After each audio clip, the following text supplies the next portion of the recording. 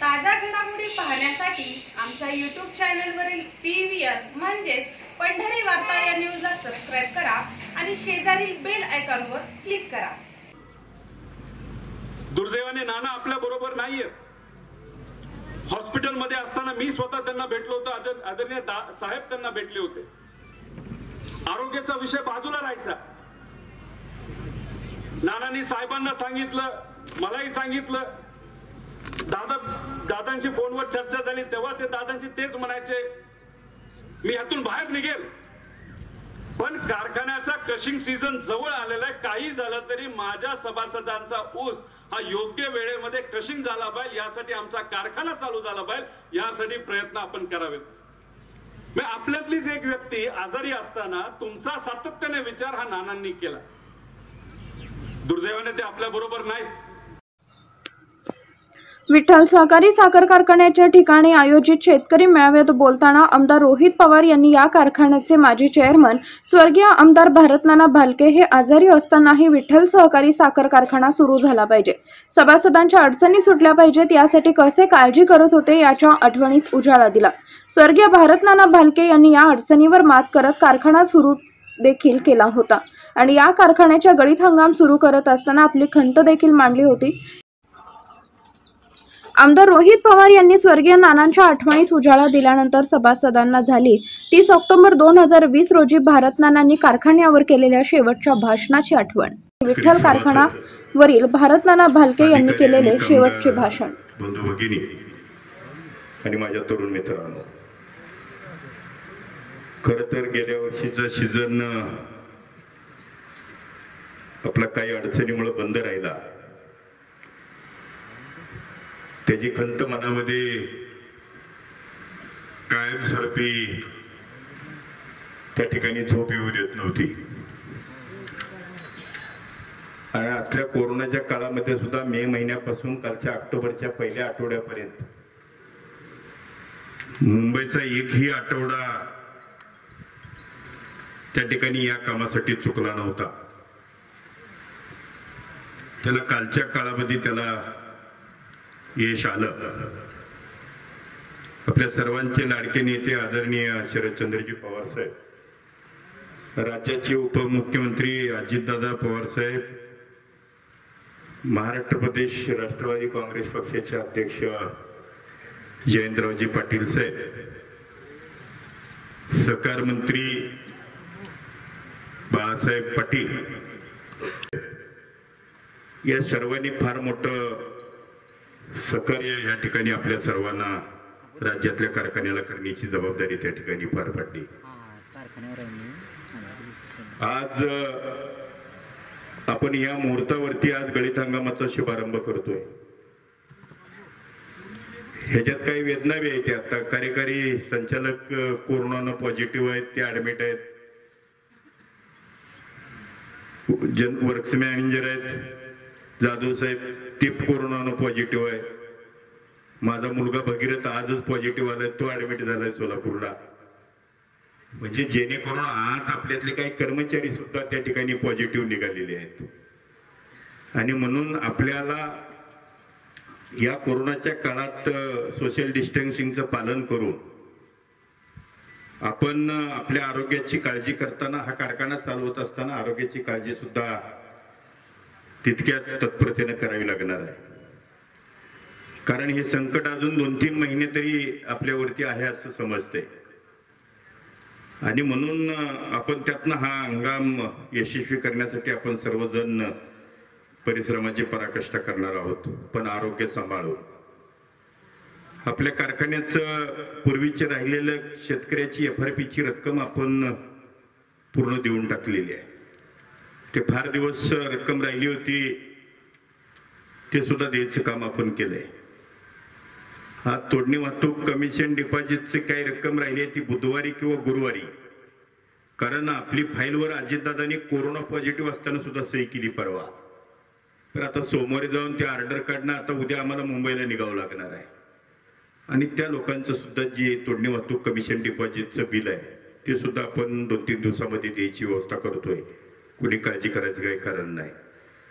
कामगारांना सुद्धा आपण कालच्या तारखेला आपले पैसे येतील वाटलो होतं पण अजून आले नाहीत. पहिले चार पाच पगार केले. अजूनही आपण दिपोळीच्या अगोदर काही रक्कमा देऊन त्यांना त्यांच्या सुद्धा दिपोळीला आपण निश्चितपणानं त्यांच्या कष्टाचा मोबदला याचं काम आपला साखर कारखाना करणार आहे.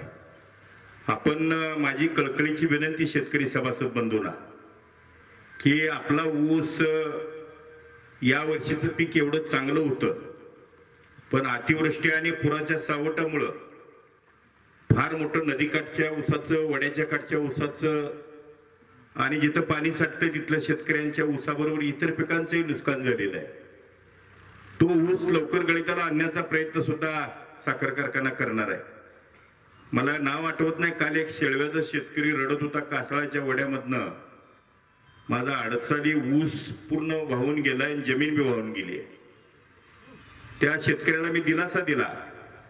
मी एक दोन दिवसामध्ये राज्याच्या मुख्यमंत्र्याला आणि उपमुख्यमंत्र्याला भेटणार आहे. ज्याचं नुसतं पीक गेलंय त्याला मोबदला मिळेलच. पण त्याची जमीन सुद्धा माती सुद्धा खरडून गेली आहे.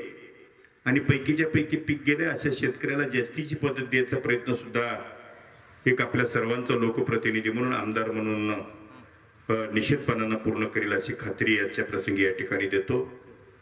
बंधूनो हा गळीत हंगाम सुरू करत असताना अनेक अडचणीला आपण मात केलेली आहे. माझं म्हणणं आहे की आपण सर्वांनी आपला पिकवलेला ऊस विठ्ठल कारखान्याला दिला पाहिजे. आपण दिल्यानंतर जर आपल्याला जर इतरापेक्षा कमी दर मिळाला तर पुढच्या वर्षी आम्ही तुम्हाला हे आव्हान करणार नाही. कारण आपण चांगल्यापैकी दर देऊन आपल्याला पुढच्या वर्षी सुद्धा गळीत हंगाम चांगला यशस्वी करायचा आहे. यावर्षी बारा लाखाचं आपण जर क्रशिंग पूर्ण केलं आणि दुसऱ्या वर्षी बारा लाख केलं तर आपल्याला कर्जाचा रुपया सुद्धा आपण राखू शकणार नाही अशा पद्धतीचं नियोजन आपण या ठिकाणी केलेलं आहे. आणि म्हणून माझी कळकळीची आपल्याला विनंती आहे. सरकार आपल्या पाठीशी आदरणीय पवारसाहेबांचा आशीर्वाद आपल्या पाठीमाग आहे. आणि म्हणून आपण आपला ऊस गळिताला देऊन सहकार्य केलं पाहिजे नाही काय लोक आता उद्या काय करणार आहेत की पुराचा ऊस आमचा लवकर घेऊन जावा म्हणणार पुन्हा वरचा ऊस दुसऱ्याला घालवून टाकणार. त्याच्यामुळं ठरवलेलं टार्गेटचं आणि मुळात पुरामध्ये गेलेल्या ऊसाची रिकव्हरी त्याच्यामुळं जे गाळ वगैरे माती त्याच्यामुळे येणार आहे त्याच्यामुळं काय साखरेच्या बाबतीत कलरच्या बाबतीत तिथं जास्त केमिकल वापरून खर्च करावा लागणार आहे. ह्या सगळ्या गोष्टीचा सुद्धा विचार शेतकरी सभासद बंधूंनी आणि कामगार वर्गाने केला पाहिजे.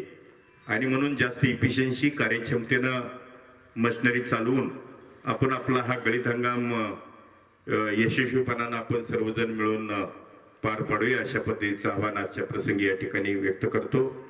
आपण सर्व प्रमुख पाहुणे की ज्यांनी नेहमीच ही साखर कारखाना चालला पाहिजे यांना ऊस द्यायच्या बाबतीत वाहनाच्या बाबतीत आर्थिक सहकार्य करायच्या बाबतीत ह्या सगळ्या मान्यवरांनी ह्या ठिकाणी सहकार्य केले. त्याबद्दल मी अंतकरणापासून त्यांचं स्वागत करतो आभार मानतो.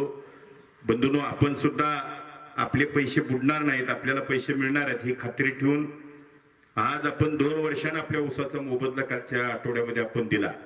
तरी सुद्धा आपण कुठेही त्याची तक्रार केली नाही त्याबद्दल मी सुद्धा तुम्हाला धन्यवाद देतो. तुमचा आभार मानतो.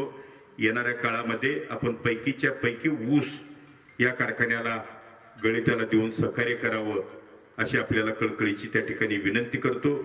विशेष करून गणेशचा ज्या ठिकाणी जिल्हा राष्ट्रवादीच्या युवकपदी निवड झालेली आहे त्यांना पुढच्या काळाला कार्याला शुभेच्छा देतो. त्यांनी संघटना पक्ष मजबूत करावा तरुणामध्ये एक चळवळ उभी करावी अशा पद्धतीच्या शुभेच्छा मी अंतकरणापासून देतो. आणि त्यांचाही सन्मान आज या ठिकाणी आपल्या वतीनं होईल. आपण सर्वजण असल्या कोरोनाच्या काळात सुद्धा आलात त्याबद्दल तुमचंही मनापासून पुन्हा एकदा अंतकरणापासून स्वागत करतो. मी कार्यक्रम झाल्या झाल्या मी हॉस्पिटलला चेक करायला जाणार आहे. कारण मुलाला झालाय घरात कोणाकोणाला आहे काही माहिती नाही. त्याच्यामुळं डॉक्टर टीम मी बोलवलेली आहे. त्याच्यामुळं कुणाचं काय काम असलं तर उद्या आपण त्या ठिकाणी भेटू. पण हे कोरोनाची भीती आपल्यातले काय समजा राजू बापू असू द्या असे काही मान्यवर सभासद आपल्यातनं निघून गेलेले आहेत. केवळ आपण कोरोनाची काळजी केली नाही म्हणून. आपण भविष्यामध्ये सगळ्यांनी मिळून या कोरोनावर मात करण्यासाठी आपण थोडं सोशल डिस्टन्सिंगचं पालन करूया. कुणाला काय वाटलं तर लगेच तात्काळ दवाखान्यात त्यांना आपण न्यायचा प्रयत्न करूया. वेळोवेळी मी तुमचा लोकप्रतिनिधी म्हणून कोणी जरी फोन केला तर आपण तिथल्या डॉक्टर लोकांना कालच माझ्या गावच्या सिद्धेश्वर नरहरी भोसलेंचा मुलगा त्याचे खूप प्रयत्न केले पण तिची किडनी ट्रान्सपरंट झालेली होती तो रात्री एक्सपायर झाला काल दुपारी चार वाजता. तर त्याचं सात लाख रुपये बिल झालं त्यांनी दोन लाख रुपये काहीतरी भरले होते. मी काल राजेश टोपेला त्या ठिकाणी फोन करून पाच लाख रुपये त्याचे माफ करायला लावले. आणि म्हणून आपण सुद्धा अशा कोणाला एखाद्याला बिलाची अडचण वाटली मला अनेक फोन येतात पंढरपुरात सुद्धा सोलापुरात माफ करायसाठी. काही रक्कम कमी करतात परंतु सगळीच रक्कम पूर्ण माफ होत नसती. आणि म्हणून आपण सुद्धा तशा वेळेत कुणाची गरिबाची अडचण असली तर त्या ठिकाणी मला सांगायला काही हरकत नाही. मी पुन्हा एकदा आपल्या मनापासून आजच्या गळीत हंगामाच्या कार्यक्रमाच्या निमित्तानं शुभेच्छा व्यक्त करतो. या दसऱ्याच्या तुम्हाला अंतकरणापासून सर्वांना हार्दिक शुभेच्छा व्यक्त करतो. हा दसरा आपल्याला सुखाचा समृद्धीचा आणि भरभराटीचा आणि आनंदाचा जाऊ हीच विठ्ठलचरणी प्रार्थना व्यक्त करतो. पुन्हा एकदा आपल्या सर्वांचं मनापासून स्वागत करून मी माझं दोन शब्द संपवतो. जय हिंद जय महाराष्ट्र. ताज्या घडामोडी पाहण्यासाठी आमच्या युट्यूब चॅनलवरील पी व्ही आर म्हणजेच पंढरी वार्ता या न्यूजला सबस्क्राईब करा आणि शेजारील बेल आयकॉनवर क्लिक करा.